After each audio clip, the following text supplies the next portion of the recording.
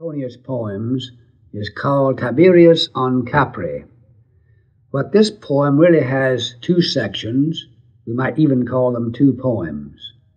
The second concerns a recollection of Capri as the war came on in 1939. Tiberius on Capri, Section A. All is nothing, nothing all.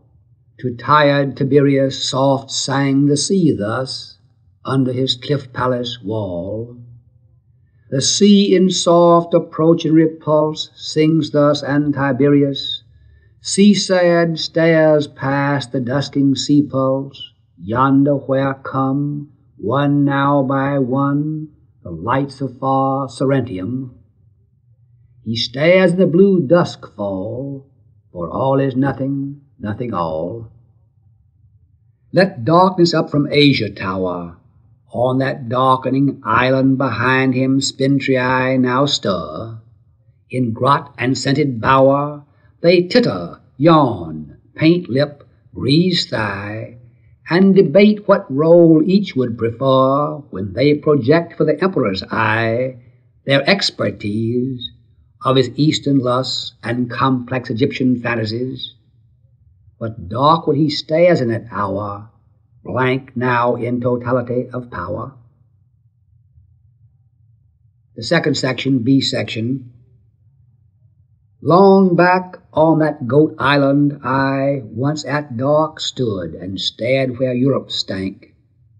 Many were soon to die, from a city snatched from depravity, virtue, or frolic, not knowing the reason, in rank on rank hurled, or in bed, or in church, or dishing up supper, or in a dark doorway, loosening the girl's elastic to tupper, while high in the night sky the murderous tear dropped from God's eye.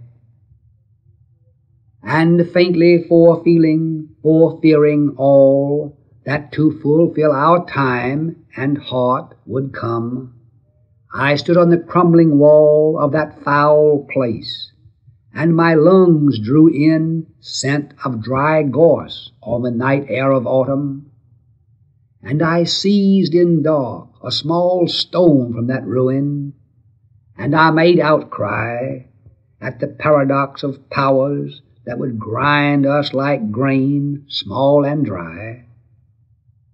Dark down, the stone in its fall found the sea.